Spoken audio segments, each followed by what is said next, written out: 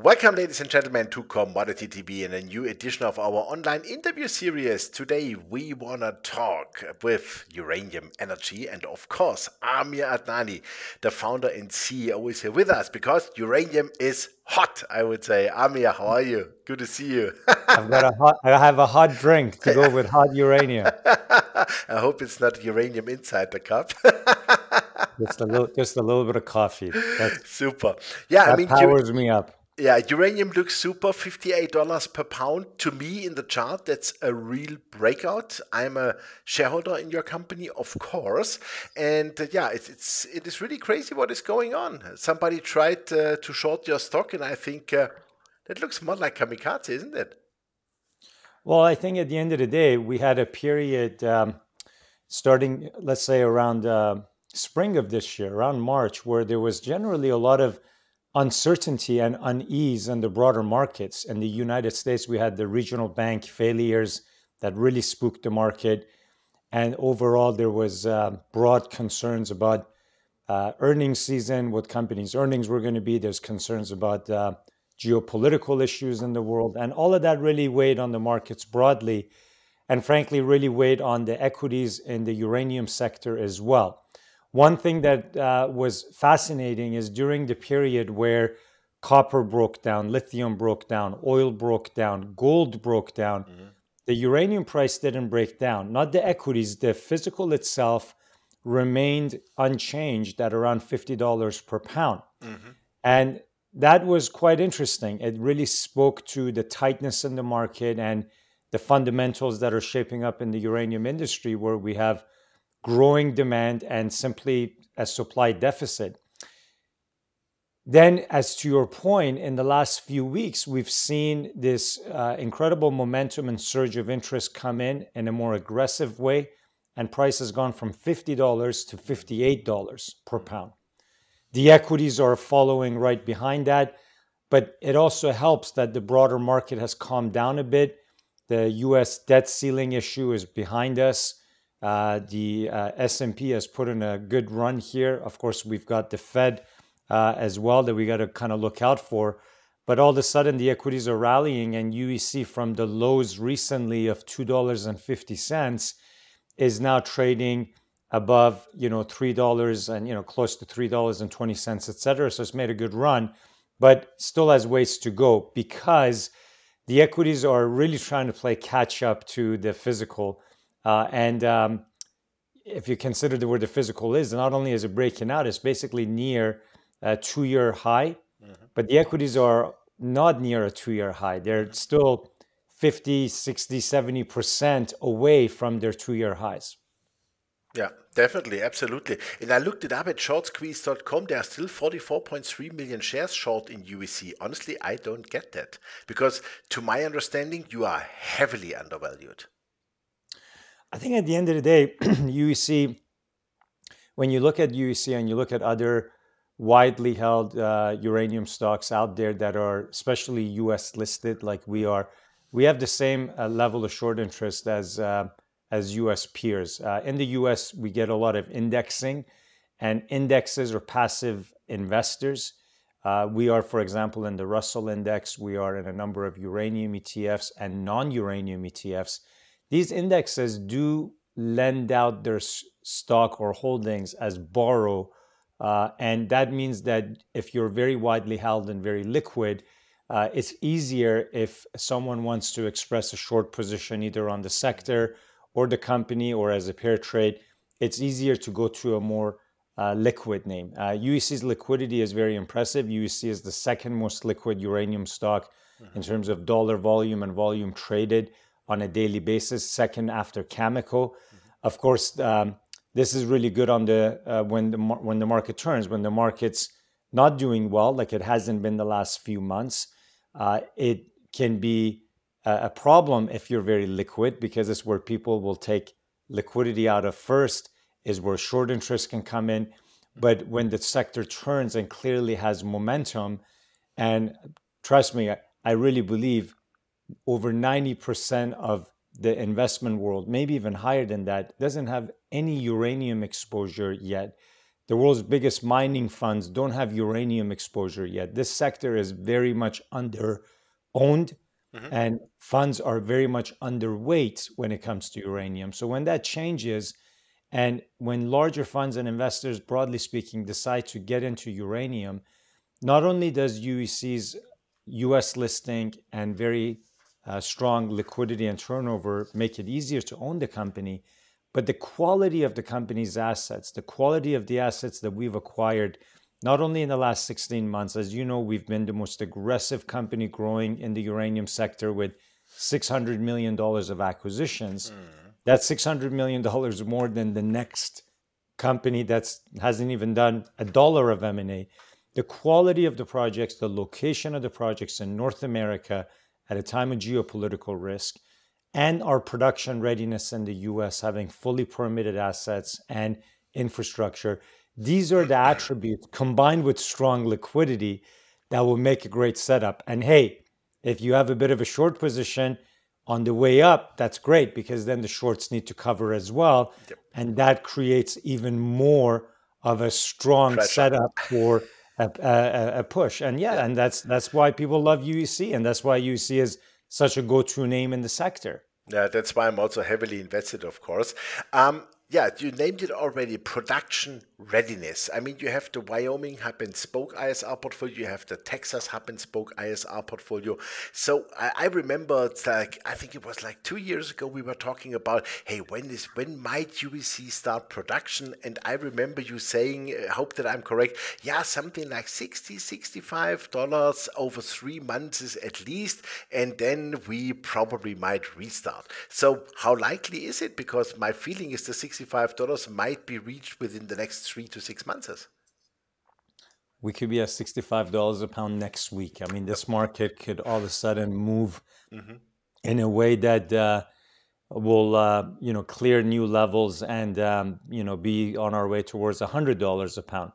Uh, we remain uh, very much in a position to uh, lead U.S. production higher. The uranium one assets that we acquired in Wyoming we recently had a site visit for institutional investors and analysts that um, really the key takeaway from that site visit for everyone was really being impressed at how production ready UEC is. Mm-hmm. These are past producing assets that we own, both in Wyoming and Texas.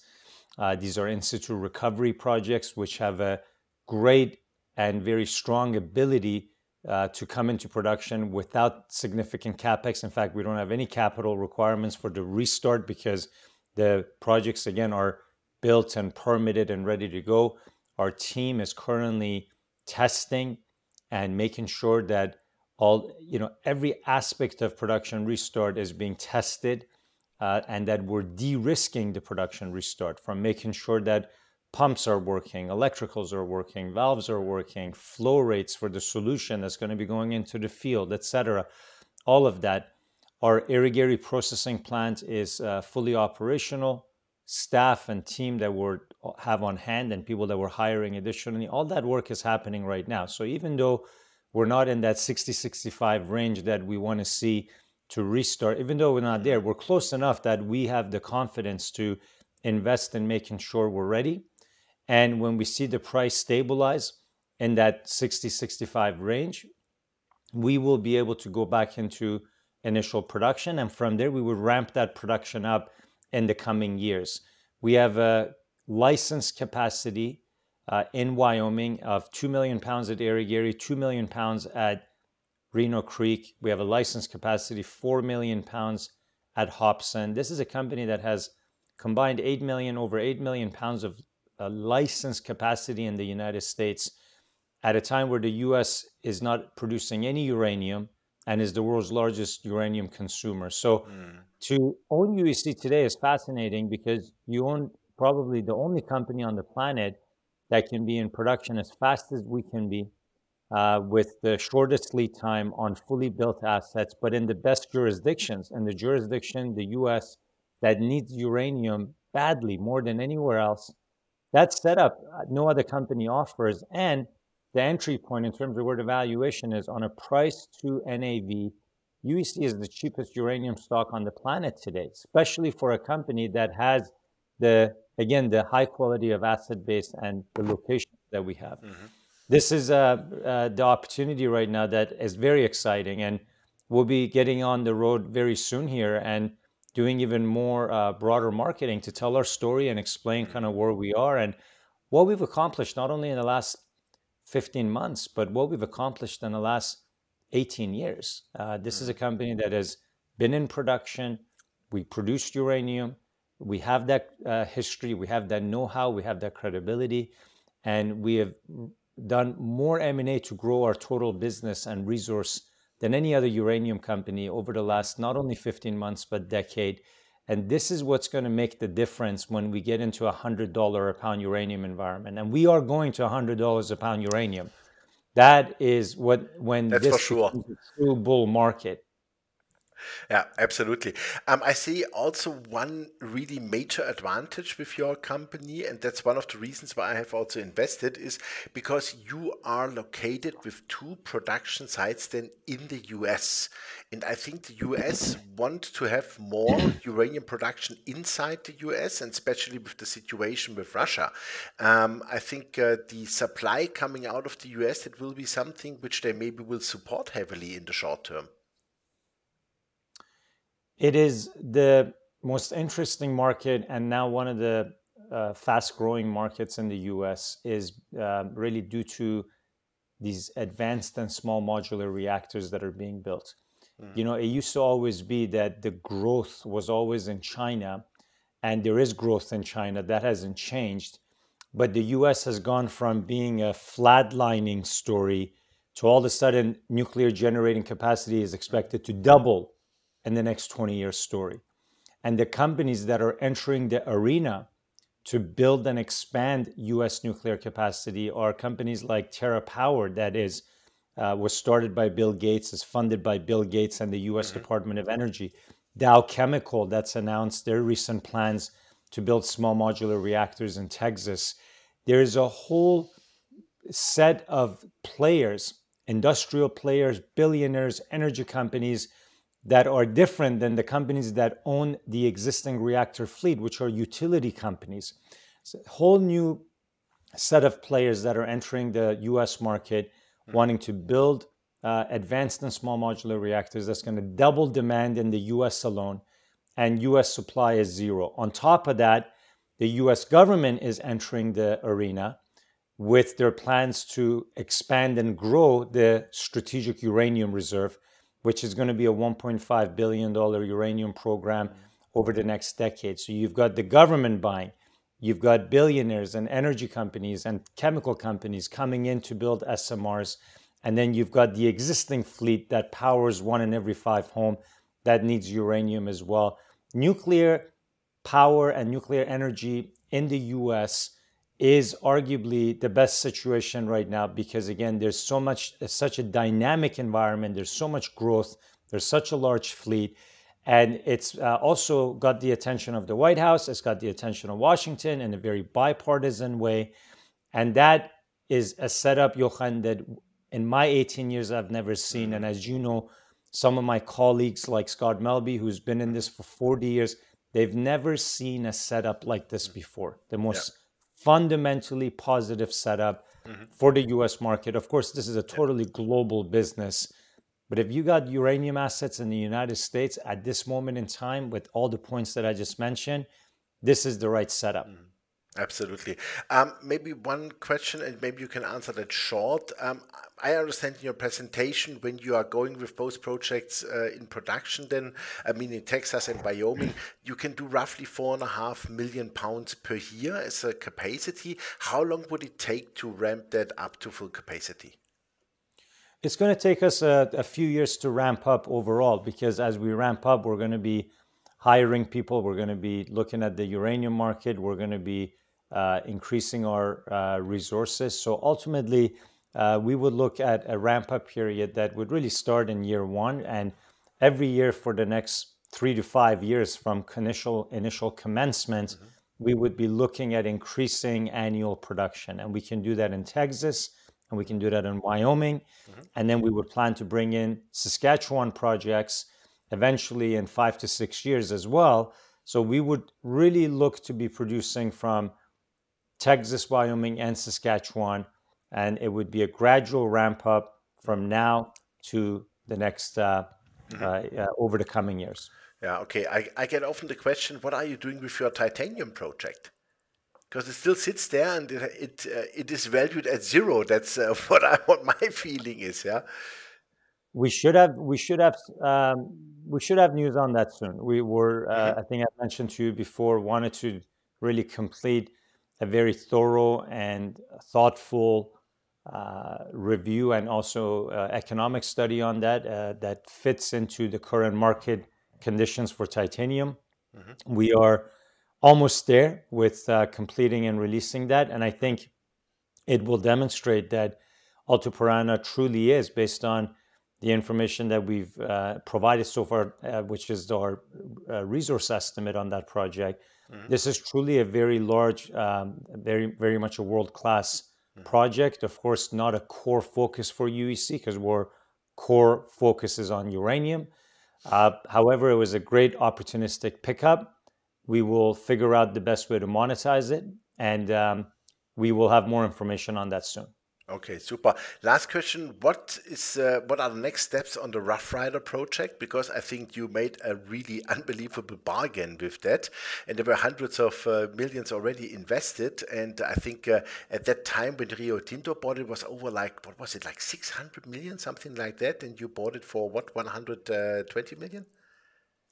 Yeah, that's right. So when you think about Rough Rider, uh, Rio uh, Tinto uh, outbid Cameco and paid 600 million to acquire Rough Rider, then spent 100 million on mine development, and then Rio Tinto got so big while the uranium market was going down before this turnaround that we've seen in the last few years that Rio got so big in iron ore and lithium and other commodities. Mm-hmm. Frankly, uh, the uranium opportunity was uh, just not big enough for Rio at this point. Uh, so we got a heck of a deal acquiring Rough Rider for 150 million, almost equal to the replacement value of all the drilling, all the engineering and uh, and development work that they did. Mm-hmm. And uh, we have immediately announced development plans ourselves. We had a press release recently that uh, talked about the uh, variety of work tracks that we've commenced from baseline sampling to a PEA economic assessment that we'll put out uh, we've hired another firm to analyze and look at the best ways to uh, develop a milling strategy around the project. So we're pushing it very aggressively, built a team around advancing Roughrider. This is truly a world class project that UEC now owns with grades upwards of 3 to 5% grade uranium on the east side of Athabasca, near power, near airport, near infrastructure, uh, construction facilities, mills. It is uh, uh, really a, an ideally situated project and has uh, just a wealth of information around it with the past work that was done by Rio Tinto. So mm-hmm. when you think about Rough Rider in the context of the company's portfolio, the company today, UEC, controls uh, almost 328 million pounds of uranium resources across US and Canada. Mm-hmm. That, that is uh, the largest diversified portfolio of any company in North America mm-hmm. and really combining what we think is best in class low cost in situ recovery in the US on fully built production restart projects with infrastructure and licenses in place, combining that best in class in the US with best in class in Canada, which is high grade conventional. And in conventional mining, where grade is king, there, there isn't a place as high grade as Athabasca anywhere in the world. These are the highest grade deposits, and that's where you want to be. And that's where UEC now has not just Rough Rider, but over 20 uranium projects, including joint ventures with Cameco and Orano. So again, we've built a we've built a significant portfolio here of both Canadian Athabasca projects and U.S. production restart uh, mm-hmm. platforms. Super. It was a great final sentence. Amir, thank you very much uh, for yeah the super insights. And uh, as said, we are really uranium bulls. $100 per pound is for sure. Hopefully, maybe this year, I don't know. But for next year, I think it's for sure. And uh, yeah, I think UEC uh, is an outstanding investment opportunity, especially now at those prices. And everything looks good. Thank you very much. Wish you all the best, and I have a good feeling that we talk quite soon. Thank you, Jochen. Thank you. Thank you. Yeah, ladies and gentlemen, that was Amir Adnani, the CEO and founder of UEC, Uranium Energy Corporation. You heard it. The company is in a fantastic shape, super well diversified, the best diversified uranium portfolio of all companies, and over 320 million pounds of uranium they are owning. They also have physical stuff. They have a lot of cash in the bank, and they are doing extremely well. If you want to ride the uranium bull, you should really own UEC. I do so. Hopefully, you soon. Thanks for watching us, and bye bye from Switzerland.